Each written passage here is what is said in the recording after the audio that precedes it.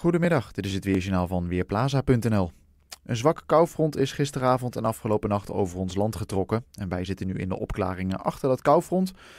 Ook in de iets koudere lucht dus. En ondanks dat de zon veelvuldig scheen vanmiddag, is de temperatuur blijven hangen op een graad of 13. Vanuit het zuiden, dus midden-Frankrijk, komt een warmtefront dichterbij. Dat gaat met name vanavond en vannacht wat meer bewolking opleveren. En morgenochtend kan het daardoor in het noordoosten en oosten van het land eventjes wat spetteren. Op de modelanimatie is te zien dat een lage drukgebied boven de oceaan steeds meer invloed op ons weer gaat krijgen.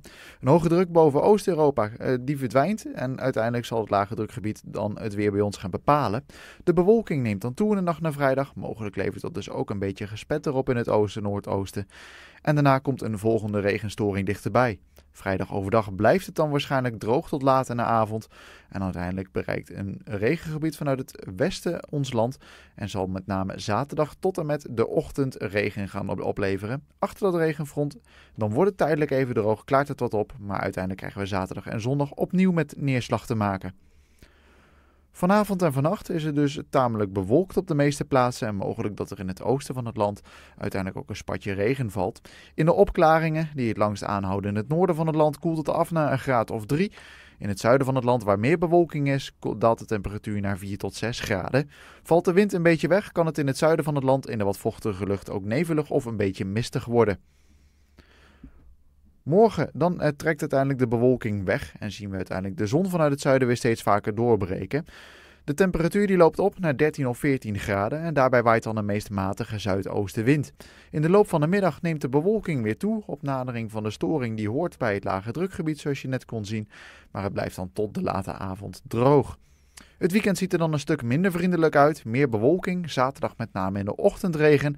In de middag vanuit het westen opklaringen en af en toe wat droge perioden bij een graad of 13. Zondag dan gaan we juist buien zien. Tussen de buien door is het droog met landinwaarts af en toe ook ruimte voor de zon. En net als de zaterdag nog altijd zacht met 13 of 14 graden.